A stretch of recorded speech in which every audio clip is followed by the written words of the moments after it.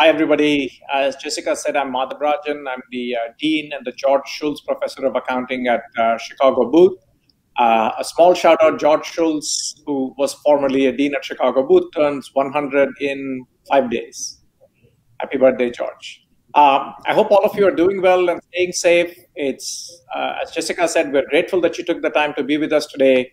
Uh, we have a truly amazing event with uh, Booth alum Dr. Pat Basu, whom I'll introduce in just a bit. Um, so this is our distinguished speaker series, uh, the virtual version of that. The speaker series is a long-standing tradition at Chicago Booth. Uh, we bring in high-profile leaders from the from business, from the government, from the community to share their insights and experience with all of you.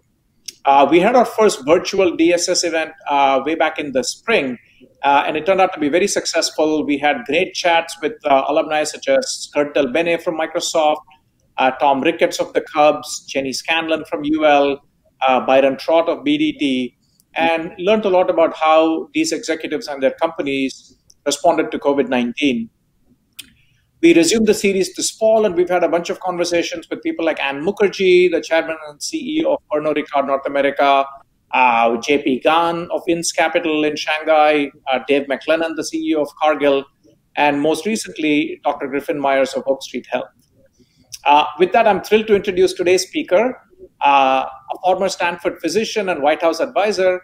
Uh, Dr. Pat Basu is president and CEO of Cancer Treatment Centers of America Global, which includes a network of hospitals and outpatient care centers, as well as new business ventures designed to expand access to the network's high quality oncology care.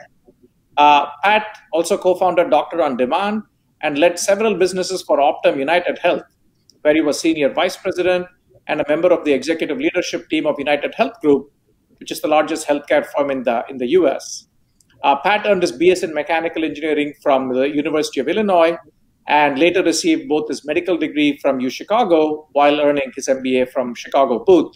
Uh, Pat, it's great to have you with us on this on this event today.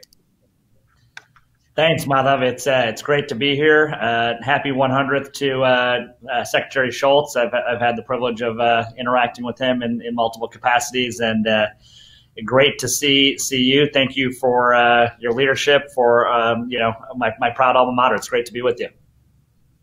Thank you, Pat. So maybe we'll start with your career. You've had a very varied career, lots of high profile positions in very very different sort of spheres, right? As a practicing doctor uh, then in private equity, uh, as CEO multiple times, and then stints at the White House. Can you talk us through just your career progression? How much of it was planned out? How did things sort of evolve to where they're? Yeah, ha- happy to do so. And uh, you know, it's always uh, I think as as uh, Steve to paraphrase, uh, I believe Steve Jobs one time at a, at a, Stanford commencement, he sort of made this this phrase that it's it's always easier to draw the points retrospectively uh, looking backwards and make it sound much more clean and articulate than uh, than it's planned. Uh, that being said, happy to to kind of walk you through. I, I will say that um, I sometimes joke that there's a, a, little bit of element. It seems like a little bit of multi personality disorder when you look at uh, engineering to medicine to business to policy, you know, back to business. But but a few common themes. You mentioned studying engineering uh, as an undergrad. A, couple of things that stuck with me there were uh, number one, kaizen, just a, constant attitude towards optimizing something. You know, as an engineer, it was make the make the jet faster, make the cars safer, make the bridge stronger. But in in other aspects of my career, it's been you know how do you design a, a safer healthcare system, or how do you design a uh, you know a, a better uh, you know operational pathway. Uh, just to you know cut to some of the chase. Uh, obviously, so many elements of Booth were were integral in, in developing these skill sets. But the, the second thing from an engineering perspective was was a systematic approach. Uh, you know, whether it's anything from government to sports teams to, to running businesses, you could have great people in a bad system and your outcomes are, are not, not good, or you can have maybe human error within a good system and, and that system produces, uh, you know, better results. So carried that with me uh, into, into medicine And I think medicine is, is one of those areas that, you know, we've certainly seen in, in this interesting year of 2020 where healthcare affects everybody in every single way. And, and so, uh, you know, the, the, the mission aspect is always fulfilling. The science is always interesting. But I think where the, the story for me takes its, its inflection point is as an engineer working as a uh, as somebody you know at the time not even a full doctor as a medical student i immediately saw that the system was broken and the aspects of fixing the system were really based on some of the things that a, that an MBA, let alone from you know the, the best you know the best business school in the world, would help uh, fix. So, namely, it wasn't that there was a lack of capital. You know, the U.S. invests three and a half trillion dollars. You know, 19 percent of GDP. There was plenty of capital. It wasn't even a human capital issue. You know, physicians are are uh, known to be pretty pretty you know intelligent people. But how do you allocate the capital? How do you finance? How do you administer? How do you operationalize? Uh, how do you strategize? Uh, all of those assets into a into a way that makes a better healthcare system, lowercase h and, and uppercase h, meaning I saw medical errors left and right in the you know in the early 2000s, and it, it, wasn't a shocker when I would scribble in my poor handwriting a drug dose, send it into a tube, and the wrong dosage would come back. Uh, and, and so, really, the MBA began as something, Madhav, that was a way to build a better American healthcare system, a mission that, that still stays with me. But honestly, it, it actually morphed into so many other opportunities. And there's a quote that I love by Sun Tzu opportunities multiply as they are seized. And what much of my life, and certainly my time at, at Booth, showed me was that if you, uh, you know, have a strategy and you put your nose to the grindstone and you, you walk through those opportunities, then, then many more open up to you. And I'll give you an example. I, I was, uh, I like to joke that prior to Booth, I thought the SEC stood for the, the second best football conference in the country after the Big Ten, the Southeastern Conference, let alone uh, you know the Securities and Exchange Commission. But but jokes aside, I, I, really wasn't familiar with private equity and venture capital, but was steeped in a, in a lot of those classes and experiences at Booth. Uh, certainly, I can trace so many of my professional aspects into either the classroom or outside the classroom at Booth. And then the final thing I would add, particularly maybe for the students, but also for any alums out there, is I remember giving a, I guess the message would be this have the courage to take the path less traveled. Have the courage to maybe zig when other people are saying to zag. I can tell you every point in my career, when I was an engineer, people said, Why are you going into medicine? When I was, you know, full time doctor at Stanford, people said, Why are you going to work at the White House? Uh, and, and, you have to have the courage, just like any executive or any entrepreneur, to take that advice, but also to chart your own course. And uh, I was sitting in an audience in Washington, and, and the topic of the panel was basically how to how to get a job at the White House. And. I asked people to raise their hand. How many were lawyers? How many were assistant chiefs of staff or chiefs of staff? And a lot of hands went up. And my point was that you know you don't want to be a needle in a stack of needles that when you have an interdisciplinary career, when you have breadth, it it really gives you a, a set of skills and experiences that allowed you to, to add real value. And every one of my career experiences has built upon the previous one, has added to the to the next one. So um, you, you, mentioned some of the other things uh, from from starting a company to leading a large company. All of those sort of intertwine with the themes of building a better healthcare system, uh, being mission driven as it as it relates to people, and and frankly, just continuing to be a lifelong learner and contributor. So you spoke about standing out, and and certainly doing an MD MBA makes you a, a very unique sort of person.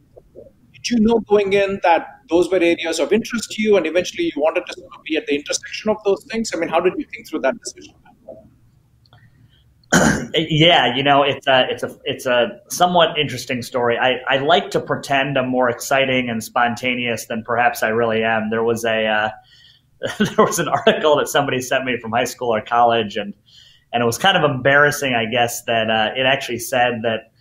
Uh, you know, down the road, I'd like to lead change in in healthcare, kind of at the intersection of of uh, you know building a better healthcare system and, and managing healthcare. So as as I guess I'm not as wild and spontaneous as I as I would hope that I am, but uh, uh, I, I, will say this: I, I, think I've always had a deep interest, passion, and respect for business and finance and understanding of the market from a earlier time and how that can be applicable to any sector. So I think the rough nodes of it were there, but I never ever would have dreamed uh, the practical, uh, you know, pragmatic impact that my my Booth MBA would actually give me. Again, let alone opening up the opportunities and even the horizons, but. But, but I think I, I had an inclination and a proclivity towards that intersection, yes, of, of medicine and business, maybe for some time. Uh, but what happened afterwards is, is, is something I think I'm just very, very grateful for and, and would not have been able to predict. So you joined your current organization, the Cancer Treatment Centers, as president and CEO, uh, I guess March of last year. What attracted you to this opportunity, and what sort of makes them stand out in your mind?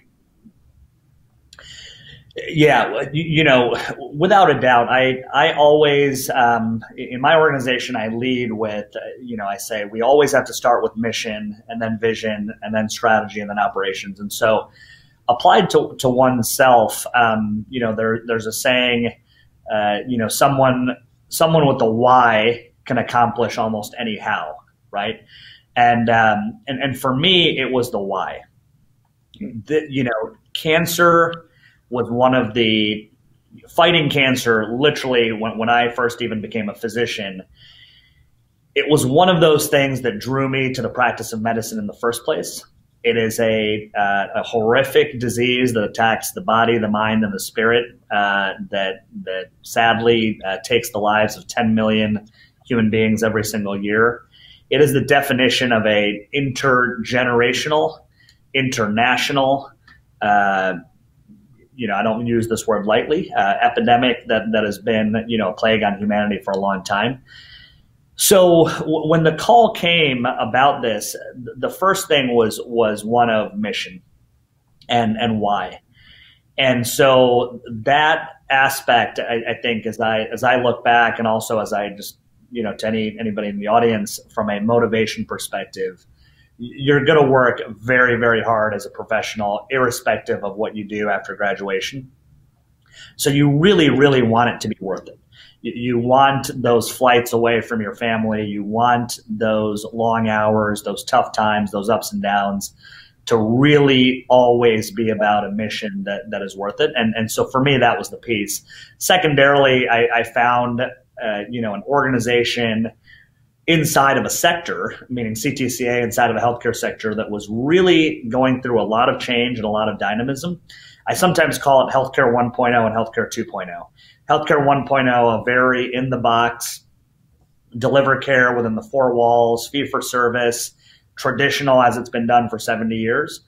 Healthcare 2.0 is one where a lot more technology is involved, a lot of new financing mechanisms like value based care, applying big data and artificial intelligence, all the things that, you know, that telehealth and virtual care this was an organization inside of a sector that I felt that as somebody who knew and was steeped in healthcare 1.0, but had really done a lot in healthcare 2.0, it was the right calling.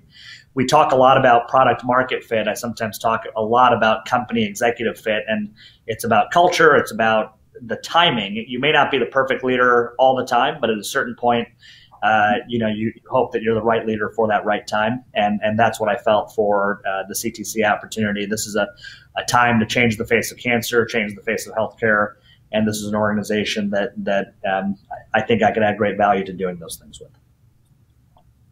So you, you used the word epidemic. So I'll ask you about the, the current pandemic that we're going through. Um, many healthcare businesses haven't done as well during this time. They've sort of struggled. How has it been for you? How is CTCA sort of coming through this? You know, it's, it's been it's been challenging. It's it's been a uh, you know again leaders I think have to have the right balance between humility and confidence and uh, and and it's always always at that intersection that balance and um, it, has been tough. I have a, a friend that I worked with at the White House who is a um, a, a, Navy SEAL uh, commander, uh, a captain, and he's very understated. And he always has this euphemism. Uh, he calls it a tough operating environment even though they may have had to jump out of a plane at 20,000 feet in the, you know, under cover of darkness and uh, land on a mountaintop, it's a tough operating environment. So I joke with my team, this has been a tough operating environment using that same euphemism. Look, look, we're taking care of some of the most vulnerable uh, patients with a complex disease in an immunocompromised state in an environment of a massive pandemic where there are disruptions in supply chain, there are the needs to get PPE, there are security protocols. And so, as a leader, just as a doctor, you have to have a, a comfort with wanting to lead and have the ball in your hands. And you also you have a chance to make the greatest impact during these times. And so it's been tough, Madhav, but I think we've done a remarkable job, and the credit belongs to my team. They have been so resilient, so focused, and so mission driven that by almost any metric, uh, we have done better than industry peer groups, meaning within oncology, within healthcare, we've had less of an impact on volume. Uh, our quality and our satisfaction has has has really, in, in fact, uh, even improved and we've had to be very nimble and innovative. It, has been hard. I mean, I remember being on the phone at two o'clock in the morning trying to secure, you know, five thousand masks and twenty thousand gloves. Uh, you know, during a very chaotic time with very little national coordination. Um, you know, it, has been challenging for sure, but uh, it's been rewarding. And as I told the team very recently, when I told the story of of a patient who literally is, is alive now because of care this year. Um, every one of the thousands and tens of thousands of patients that we've been able to take care of in between this hurricane and this firestorm and this asteroid field, it's because of the the clarity of, of, of the team and the and just the perseverance. So um, it's been challenging. I, I can't sugarcoat it, but it's been very rewarding.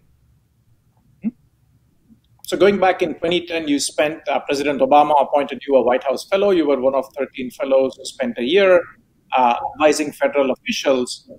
That experience, what was that like? And from what you learned or studied in Washington, how has that informed your perspective on the current crisis? you know, in a in a phrase, it was uh, absolutely life changing and and game changing. Um, you know, to to maybe put in a, a, a brief uh, plug to any uh, you know Booth alums, uh, the White House Fellowship uh, is something worth looking into. An incredible opportunity to, to serve your country at a at a point later in life and a point later in your in your career where you can really make a difference and really uh, impact things, but also at the same time learn a lot.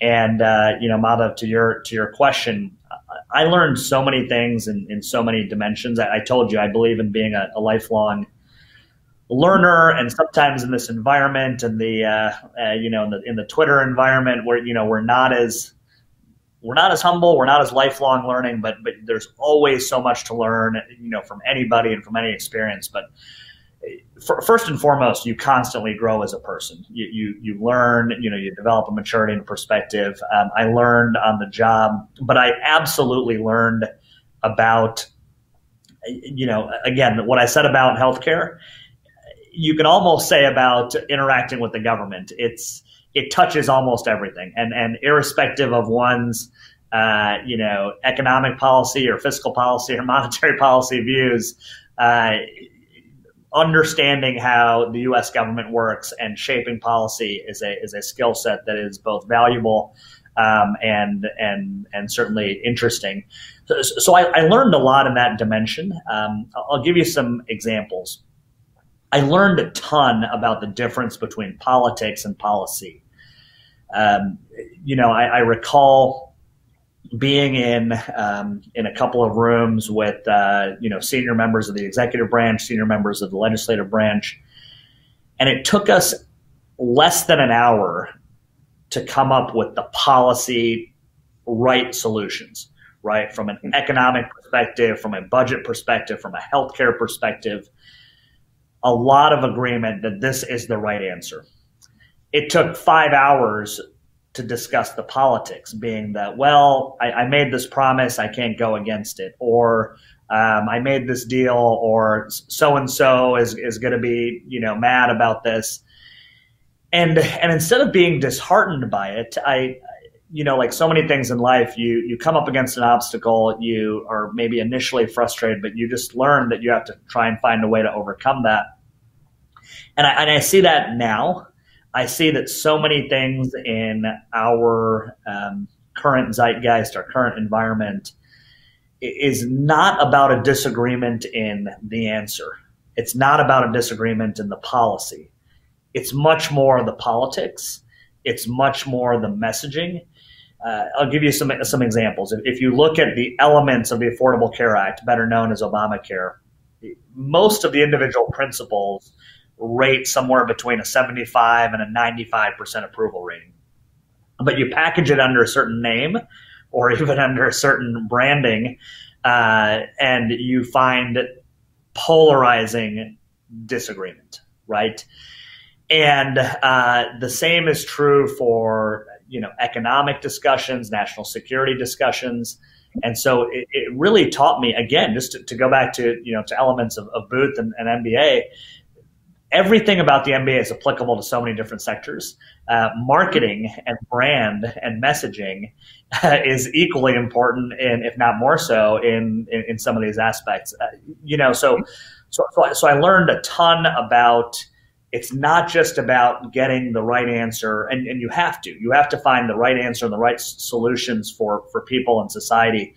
But if you don't complete that mission, if you don't put the right influence on it, the right messaging around it to get it done, then then you're not going to be as successful. And I, and I look right now, we, we, have much more a problem of, of politics and messaging than we do sort of, you know, the answers are complex, but they're achievable, but we have to fix our politics first. And, and you look at it right now with the, the pandemic.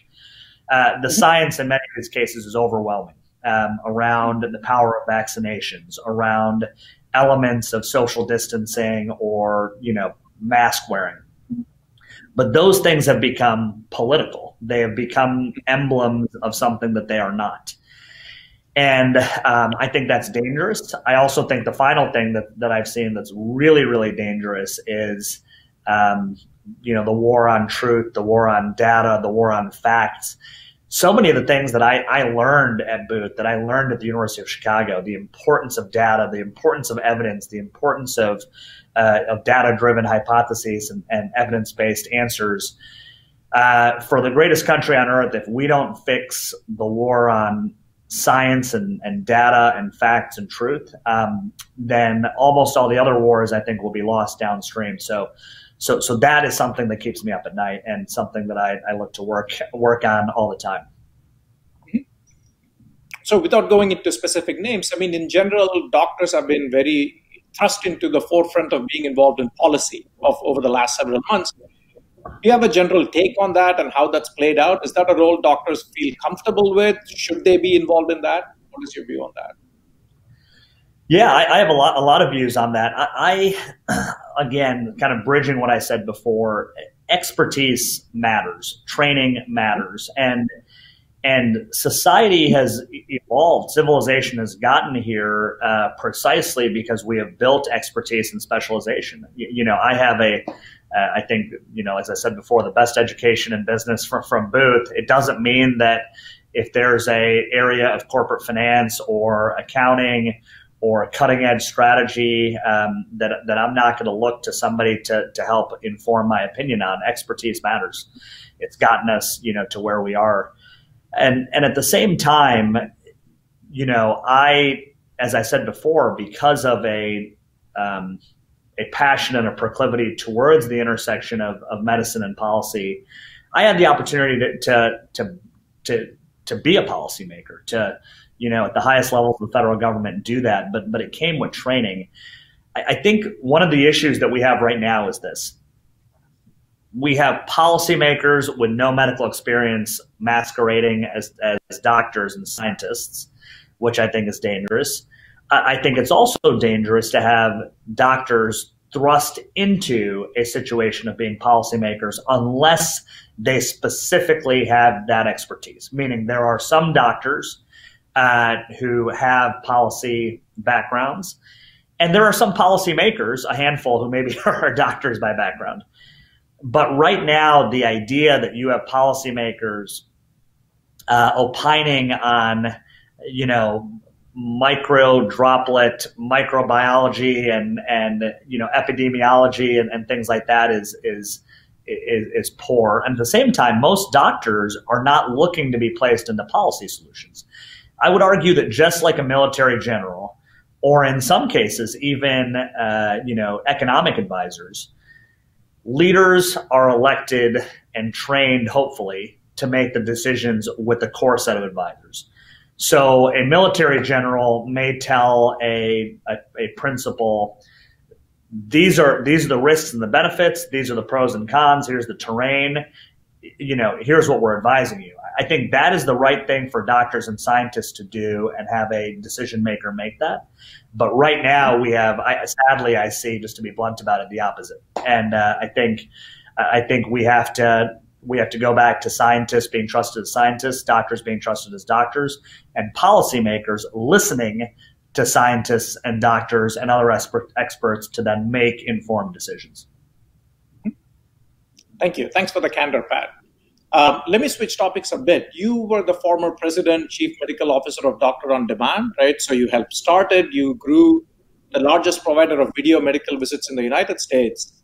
Uh, so a couple different things. Let me first start with why did you do that? Was was entrepreneurship something you always wanted to do? Was that something you focused on at Booth, or did this just was this just an idea that came to you uh, at some point?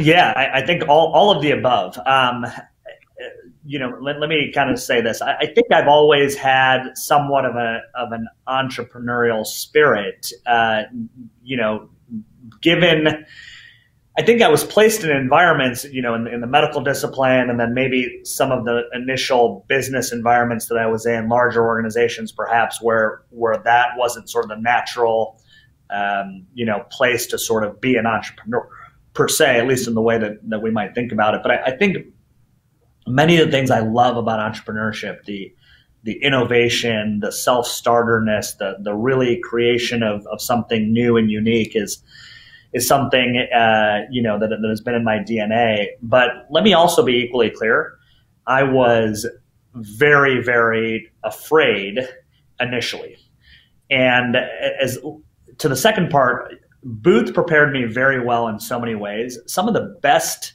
experiences were some of the experiential learning classes. I mean, I can still remember. I, I love the the traditional lecture classes, you know, a, a great deal. But with this conversation, things like the New Venture Challenge or uh, you know, um, you know, Professor Meadows, uh, you know, private equity course, or, or things that were clinical or hands-on in nature, where it forces you to use all of those muscles. Uh, I think prepared me well. What it did not prepare me for uh, perfectly, because I don't think you ever can, is that chasm that you initially step across uh, as an entrepreneur. And uh, you know, I was uh, you know the, the president and chief officer, chief operating officer of a of a large uh, merger of two public companies. Uh, you know, uh, Virtual Radiologic and Nighthawk at the time. And yeah, no way for me to uh, to sugarcoat this. I, I, remember just saying, Pat, what on earth are you thinking? You you are going to leave this to go, you know, start a company, you know, from from scratch. And many people in the Booth Network were some of the dozens of people that I called who reflected back a, a certain belief and confidence, and, and not necessarily confidence that you're automatically successful, but the confidence that you should do this, that you should try this, and even if you quote unquote fail, that you learn as much from that as as otherwise you know? And and to this day one of my favorite quotes is our greatest glory comes not from never falling but rather from rising every time you fall. And so there took there took a lot of that to to kind of get me going. And um, without a doubt i make the analogy as a doctor you learn the most when you're on call when you're the person making those decisions. I think in in business you learn the most when you're the buck stops with you as an operator. And as an entrepreneur in particular, there's there's no one behind you. You know, I, I still remember joking with some of my my network. Uh, they said, "Okay, Pat, this is a great concept, doctor on demand. You know, video visit. Can we send something over to your legal department?" And I would say, yeah, why don't you send that to pbasu at doctorondemand.com? Can we send this to your marketing team? Yeah, why don't you send that to pbasu at doctorondemand.com? You know, all of a sudden you don't have the the thousands of people sort of supporting you, at least initially. And, I, I'm not gonna lie, it's it's harrowing, it's exhilarating, um, but you spend a lot of sleepless nights kind of staring at the ceiling, saying, "Geez, am I gonna make this work?" But it makes you not only a better entrepreneur, it makes you a better executive because you are forced to really focus, really determine what matters versus what doesn't. And, uh, and, and just uh, an incredible experience. And, and thankfully, you know, the company, as we like to say, it took a while for telehealth to, to ramp up, but as, as 2020 has proven, uh, you know, we, we, we were right initially, and we're, we're very right now. There's you know there's going to be tens of millions of, uh, of visits this year. So uh, can't say it was easy, but it's it's really fulfilling to see uh, you know that you know where where we've gotten. So let me take the second part, which you just touched on, Pat, which is that certainly this year has shown that telemedicine it can work. Also, let me ask you: Has this year proven that telemedicine can work? Do you see just continued growth ahead, or will this slow after the pandemic sort of goes away? You know, it's a great question. I, I, think at least what I'm about to say is germane to medicine. I would argue it might even be argued uh, applicable to other sectors, but technological advancement uh, in so many of our sectors is so far ahead of adoption. Said another way, we can do some incredible things technologically, but they're not in our hands or they're not in use to the extent that one would imagine. I think in healthcare, there's at least three reasons that prevent that. In no particular order, there are regulatory barriers. Um, there are um, there are special interest barriers or economic barrier, competitive barriers. In other words, your disruption is going to take market share from somebody else, and they're going to try and stop you. Um, and the third, and, and perhaps this one is most important, is just you know behavioral change right? If you were to tell most Americans right now in the year 2020, well, in the year 2020, they probably wouldn't be flying as much, but in the year 2019, your, most of your airline flight is being flown on autopilot. They might be a little worried by that, but that is the reality. Similarly, in 2012, you know, when we were saying you can do a lot of this visit via video, a lot of people said, "Wait, that's a behavior change. That's that's something that is unorthodox for me, and it takes time to get there. Now, after 2020, where tens of millions of people are doing it, they're saying, geez, I can't believe we didn't do this before. Similar to, you know, withdrawing thousands of dollars on an ATM or, or wiring tens of thousands of dollars in a bank account. So it's kind of funny how that works. Um, Madhav, specifically what I think is going to happen with telehealth is you're going to see this. Uh, you know, when we started Doctor on Demand, it was almost by definition a zero. I, I, think on the evolution of telehealth adoption, we got that to a 3 mm-hmm. Now it's it's gone all the way to a ten. I think you're actually going to see a little bit of a push back to maybe an eight or nine, primarily because I think some of the regulations are going to um, sort of come back a little bit of a notch. The regulations went from highly restrictive to sort of wild, wild west. And people are going to understand the use cases where it's germane and those where it's not. I'll give you an example. In Doctor on Demand, it makes perfect sense for an urgent care visit. Um, but until you know this iPhone can deliver surgery and radiation therapy, you know we've had to explain to some patients. Yes, you know we still need to take out your, your tumor in person before before that happens, and, so you know so, so I think it, it will it will open the floodgates in a good way. But I think, like most industries, it'll it'll find the right balance in the use cases that are that are relevant, and carve out the ones that, that need further improvement.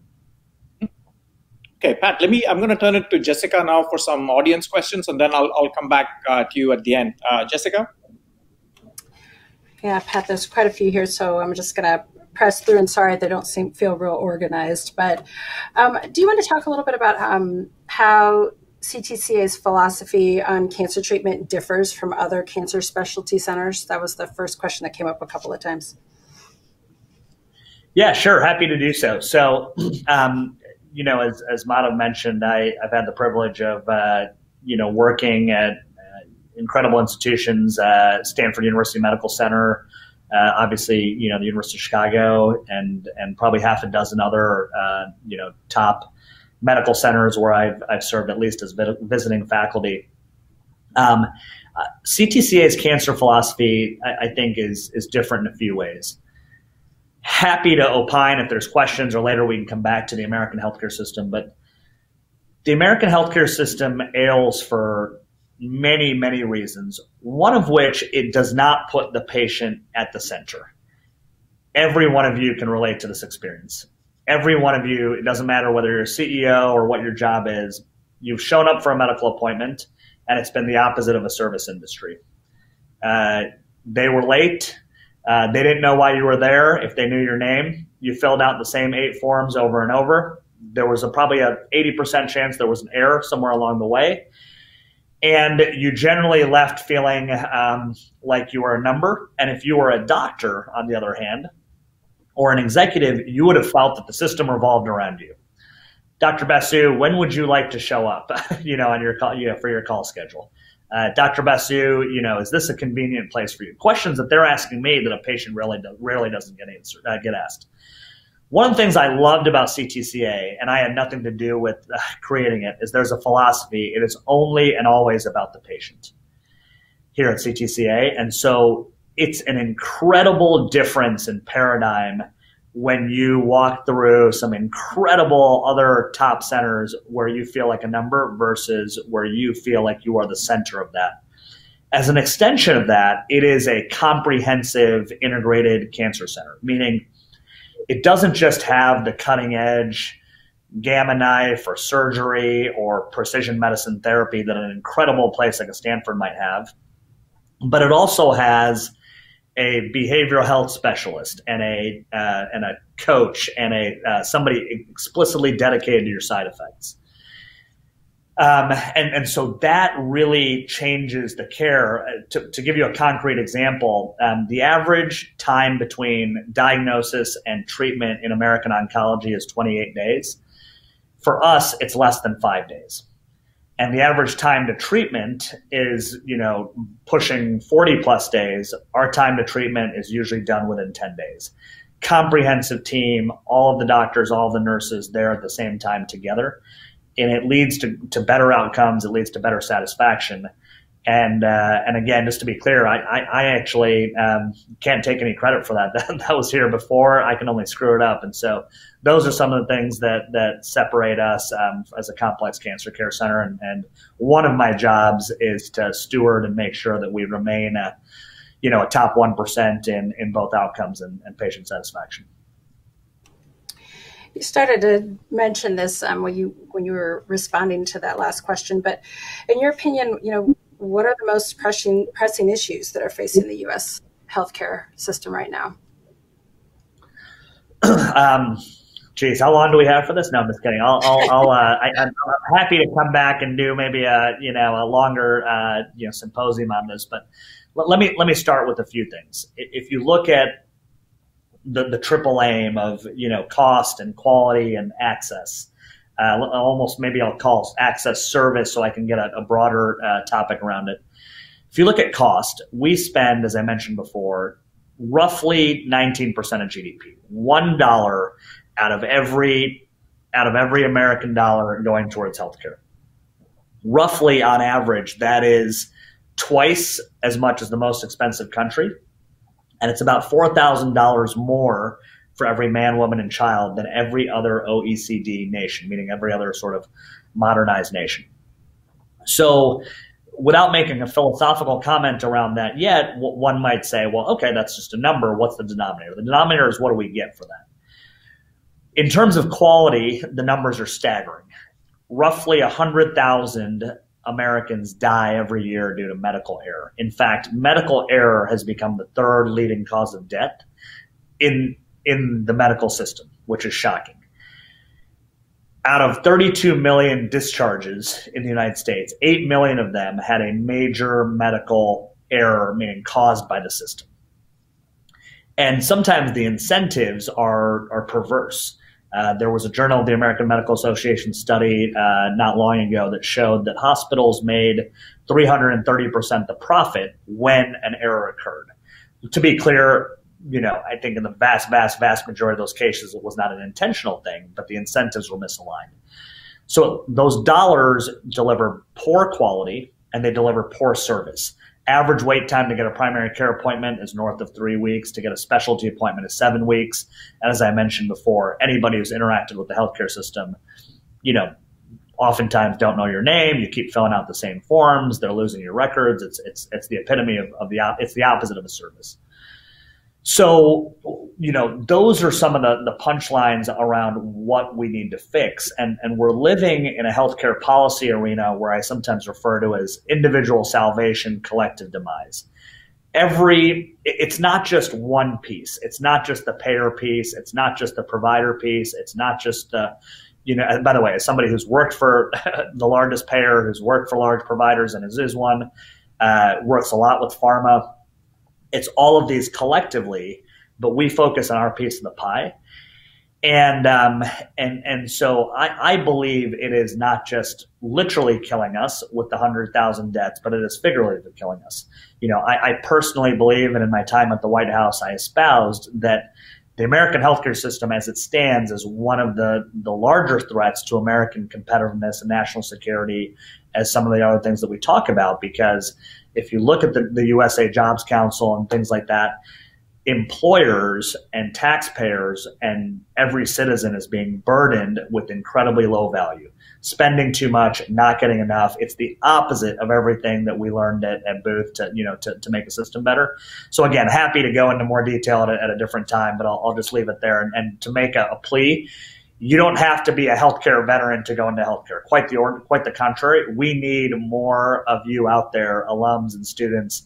We need your interdisciplinary background. We need you to not come from healthcare and come join us in healthcare because this is a this could be one of the most important things the United States of America, you know, solves or has to solve to remain a great nation in the years ahead. So, lots of work to be done, and uh, we need all the help we can get from very, very bright uh, Booth students and alums kind of following up on that, um, you talked about the help we need. There's several questions asking about, um, you know, what your expectations are, or how do you expect the Biden administration policies to kind of change how healthcare is delivered and help with some of those problems? Sure. You know, I uh, one thing I should say about the White House Fellowship is that it is one of the senior most nonpartisan uh, appointments that are out there. And I think along with, you know, um, some of the, the military positions, that's a, a, really good place to be. To, to go back to Madhav's question just for a moment, our system in politics is hurting us tremendously. Um, we are all quantitative people, united by uh, what, what Booth and the University of Chicago taught us. It's not just a qualitative uh, polarization of American society and politics, it's quantitative as well if you map out how Democratic senators and congressmen and Republican senators and congressmen voted, it used to look like this. Over time, it looks like this, meaning that the likelihood that they vote just down straight party lines now is much, much higher. And the center has been uh, excavated out, and the extremes are flourishing for systemic reasons, which again we can talk about. Um, so, with that as, as a background, I just have to say, you know, we need to find common ground again. Um, the words, you know, there's so many false choices going on in society right now. You have to look at the, the choices we as Americans have been given between the pandemic or social and criminal justice or other things. You've basically been given one extreme versus another, right? And politics has taught messengers to deliver those messages, but we have to be better about that. With that as a prelude, you know, to the Biden administration as it relates to healthcare, you know, I, I have a lot of friends, um, you know, that, that I know are going to serve in the Biden administration. I have a lot of respect for uh, President-elect Biden and, and, and many of the leaders that, um, you know, I know he's going to be bringing in. I've, I've, been in dialogue with some of them. Jeff Zients, uh, who he just named as, as one of the most competent, you know, professionals. Uh, Secretary Becerra, uh, the, the, Attorney General of California, um, who will serve as HHS Secretary, very, very talented, um, experienced uh, operator. And so, you know, I think they're going to make, uh, obviously, you know, you have to, to make the pandemic a priority. It needs to be a national priority. I think sometimes that can take you off of your other healthcare reform agendas. So I don't know what impact that is going to have because you end up only having a certain amount of political capital, not to mention a certain amount of economic capital.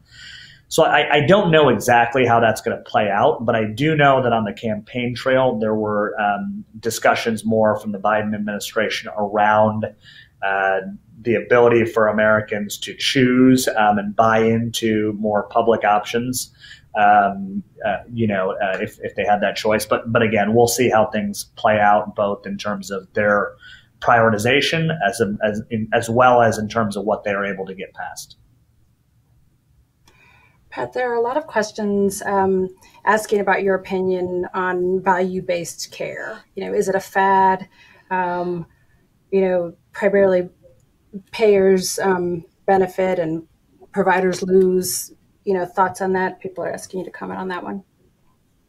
yeah, happy to do so. So, uh, first and foremost, the, the the joke, but the reality is value based care, but value to whom? Right. And, and again, if I come back to CTCA, if I come back to an ethos of the American healthcare system, the value has to be to the patient. Healthcare is one of the most distorted sectors, by the way. Um, a lot of administrative waste. I'll give you a quick statistic. The estimate from a, a study showed roughly $900 billion of administrative waste in the healthcare system. To put that in context, at the time of the study, the entire budget of the Department of Defense was $700 billion, right? So you make fun of the, you know, the $80 hammer supposedly that the DOD is procuring healthcare was estimated to waste more than the entire DoD's entire budget. Um, it's the only sector that has had a decrease in uh, you know per unit productivity over the last 20 years. Uh, spend and crowding out is, is is incredible, and so value based care is the following concept. Instead of just incenting more procedures, um, how do you incent quality? When taken at that level, it's a wonderful paradigm. Absolutely. You know, patients should pay less or, or providers should make more if the patient gets higher quality and better service. It's, it's the American way. It's any service industry w- would have that theme. How this gets legislated, how this gets executed, and how it gets politicized, of course, is different. Let me give you an example. I ran one of the largest value based care businesses in, in the country uh, for United in, in Optum Care. In that business, you know, we were able to reward patients for uh, providers for higher quality and better service as measured by patient satisfaction, higher quality as measured by outcomes, and from a cost perspective, perspective, something called the total cost of care, meaning the annual spend. What sometimes happens is the marginal cost of care is what gets focused on. So just take the following example. You could have a doctor that charges $100 and a doctor that charges $110. If you're penny wise and pound foolish, you might just say, well, let's contract with the, do- the doctor that charges $100.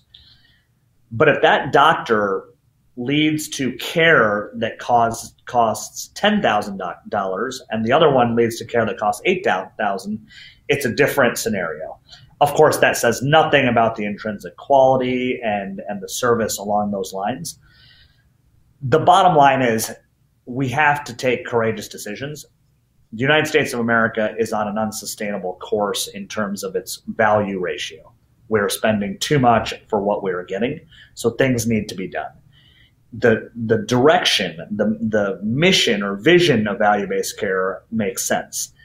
The operations and the execution of it is, and, and frankly, just even the definition of it is what what we need to continue to work on. But by and large, um, shifting a system where quality and service matter as much, if not more so, as the number of procedures is something that uh, that we have to get right because economic incentives matter a great deal, and uh, you know behavioral economics. I think you know University of Chicago is is one of the the forefronts in that. Which, by the way, if I may, can I just insert a, one of my favorite jokes? I, I have to say this really quick. I know we're on recording. My brother went to Kellogg. Love you know Kellogg friends, and, and but but there's a great joke I had to I had to toss out there.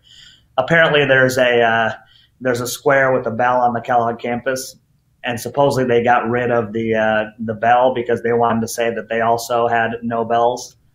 Sorry, I had, I had to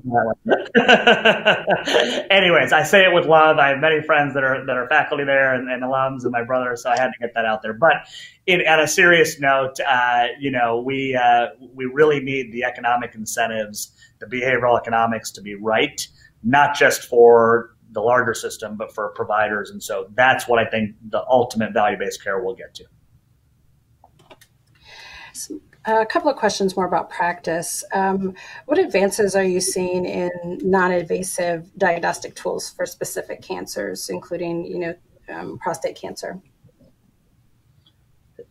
I'll give you some great great news about cancer. Is um, uh, this is such one of the things that led me to this job is I think the de- the decade or the era maybe of cardiovascular disease was probably in the early 2000s. A proliferation of of cures and therapies and earlier you know diagnosis and stopping heart attacks before they come, meaning prevention, taking care of heart attacks and heart disease after uh, you know a, a, patient has a, a an event such as a heart attack. I think this is going to be such a decade for, for cancer. I think prevention, 50% of cancers are preventable, uh, according to the literature. Uh, huge amounts of work that we can do there. Because of advances we've made in cancer, there are now 18 million Americans surviving with the diagnosis of cancer. We need to take better care of them as we attempt to turn cancer from a fatal disease to a chronic disease. And then specifically, um, you know, in the elements of non-invasive diagnosis, a few areas. First of all, just therapy wise, precision medicine uh, is a game changer. The ability to really understand the genomic composition of your body, as well as the genomic, um, the genomic. Let's, let's me use this word: the genomic composition of the tumor, and understanding how that affects therapy is remarkable. Let me let me give you an example. When I was first in medical school, I, I sometimes say that there were there were maybe ten or twelve types of cancer named by the organ type. Breast cancer, lung cancer, colon cancer, of course, we still refer to those. Now there's there's 10,000 types of cancers because now at cutting edge places, we're not just looking at the organ type, we're looking at the, the cell and the mutation. And if we can treat that mutation, it is much more efficacious and much more um, safe to the rest of the body so immunotherapy is a category, um, and, and, precision medicine, uh, you know, generally that is going to be a game changer.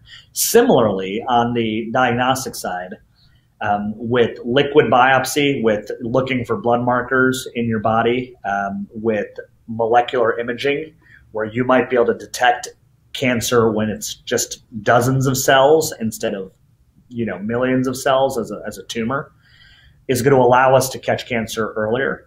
And catching cancer earlier is one of the great bedrocks of cancer care therapy. If you look at breast cancer, if you catch it in stage one, by and large, you're talking about a now 99% uh, you know likelihood of survival versus the number dropping to you know 25% at stage four. Um, if you look at every other cancer, there's a similar curve. So early diagnosis is absolutely critical. And yes, non-invasive uh, testing or minimally invasive testing uh, and diagnosis is, is a key, key um, uh, pathway to that. Um, a couple of questions about um, get together your thoughts on where do you see companies like Amazon and Walmart in the future of healthcare industry, um, particularly since they're starting to invest outside of just pharma you know, services? I, I, think a tremendous role to play. I, I think competition is is a good thing for markets. It's a great thing for consumers. By the way, going back to the political comment, uh, you don't have a lot of competition in American politics. Maybe not, maybe not a, a, a you know a bad hypothesis as to why we're getting uh, uh, you know as consumers uh, some some issues there. Um, and so healthcare used to be very very siloed. Uh, it, you know, it, it, it was just you were the only the only doctor, the only doctor type in there. You're the only hospital in there. Um, now you're talking about payers in value based care. You're talking about payers becoming providers, providers becoming payers. The word payvider. I think the role of Amazon and CVS and, and Walgreens and a bunch of other companies we haven't even heard of yet uh, is going to be uh, tremendous, or, or, rather, that maybe we haven't even thought of as healthcare companies yet. Again, the bad news about uh, 20% of GDP is it's an unsustainable um, trajectory. The good news is I think it attracts a lot of um, entrepreneurs and disruptors. It attracts a lot of um, other wonderful companies, uh, you know, that can that can make a big difference here the digit the digitization of healthcare, um, the impact of technology is going to be remarkable, and I think companies like Amazon are going to have a lot to say about that. Uh, I, I, think so many companies that are non-traditional healthcare companies are going to help us get to where we need to to do, and so it's going to introduce competition. It's going to drive uh, better solutions fundamentally, it's actually going to drive great partnerships. At Cancer Treatment Centers of America, we're talking to, to companies in these areas uh, specifically because you know your best solutions come from partnering with the best in, in in a given ecosystem as opposed to always trying to do it yourself. And so I think the impact in the decade ahead is going to be indescribable. Dean Rajan, I'll turn it back over to you. Um, thank you, Jessica. So, Pat, maybe a, a, few quick questions as we're coming to the end of time. First, do you still get to practice being a doctor? I do. I do. It's not as, uh, I'm one of those people, in case you can't tell, that likes the multiple uses of the brain and, and likes the variety. I think my, my utility, to use that economic term, my happiness stems more from doing a, a lot of different things that, than, than just being siloed. Um, so yes, I, uh, you know, most recently, uh, not only at Cancer Treatment Centers of America, but I, I intentionally uh, at the VA get to take care of veterans. And so I don't get to do it as often, but I enjoy it, and um, and I only do things uh, still where I, where I know my skill set is uh, you know is is utmost, and uh, you know I don't do some of the things that that I think uh, you know are not at the highest level of quality. I, I wouldn't touch those anymore. Okay. And uh, do you find time for your own health and wellness? Do you have any tips for the audience about those things? Yeah, the biggest tip is you have to make that a priority. There is not only no shame in making it a priority. I, I think maybe a couple decades ago there was this. Certainly in in medicine, it was oh, I you know I, I want to be on call every night, or in the executive ranks, you bragged about how much you know lack of sleep you got. Uh, in both of those disciplines, we have absolutely found evidence that that is not good. It's not good for you. It's not good for morale. And it's not good for the sustainable outcomes that you're trying to drive. So, just like one of the things I love about CTCA is not just we treat the mind, we, we not only treat the body, but also, you know, the, the mind it's the same thing. You have to have physical wellness, you have to have emotional wellness, you have to have social wellness. I think you have to have some form of whatever person's spiritual wellness is. Not to say religious, but just you know whatever spiritual may mean. And so, so me, um, for me, I I, I really uh, try to constantly. You're never going to be perfect, but strike that balance. Uh, you know, trying to you know train for the occasional triathlon uh, really investing in, in family and friends. This year in particular, where I know people have said COVID has made it seem that they don't um, get to work from home, but they actually live at work. Uh, you know, a lot of social stressor, stressors on people.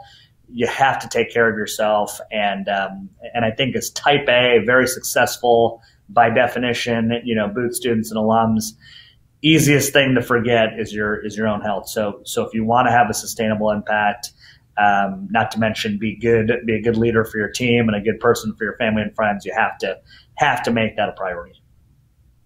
Okay, one last question. Your thoughts on the vaccines and when do you think we'll be in something like what used to be normal? Well, that's a short, easy question. Um, so uh, I'll, I'll, go on record again on the vaccines as saying this. Um, you know, the greatest country on earth, uh, if we don't get back to, you know, science and truth and data and facts rising above darkness and rumors and lies, then every other war that we fight, we will lose. So the reality is, um, you know, science and vaccines matter. Um, I think it's remarkable uh, to see that there's, you know, 90, 95% efficacy on some of these vaccines.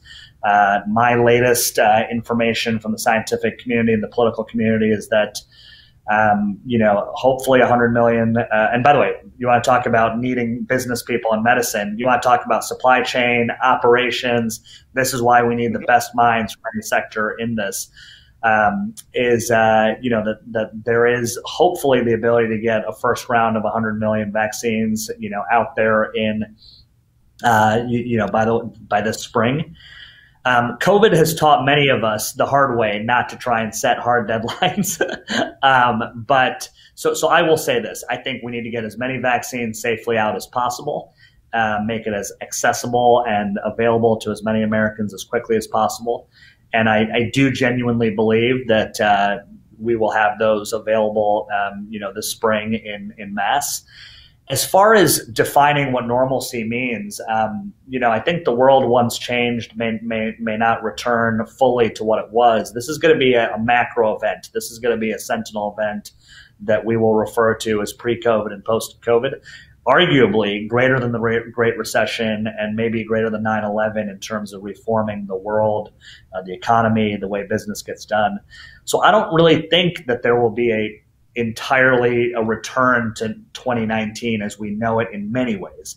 Now, in terms of the individual normalcy of getting together and, and some of those things, my my hope as a as a physician executive is that by the you know, the, the latter part of uh, of 2021 is, is when I'm hoping that that some of that returns. But you know, I don't want to be I don't want to be a fool, you know, betting against uh, the multiple variables that are at play here. But uh, you know, I, I, certainly am an optimistic person. I think brighter days are on the horizon, and I do think that uh, you know we're we're rounding the the corner, and irrespective, we'll be more prepared uh, for the future than we were in in 2020. Uh, Pat, I wanted to thank you. Uh, this has been incredibly informative, uh, interesting, and valuable uh, to, to me, certainly to our community. So, uh, thank you very much for taking the time and uh, congratulations on the amazing things that you have achieved with your career. It really was a pleasure to spend more time with you, and I appreciate you giving your wisdom to our community.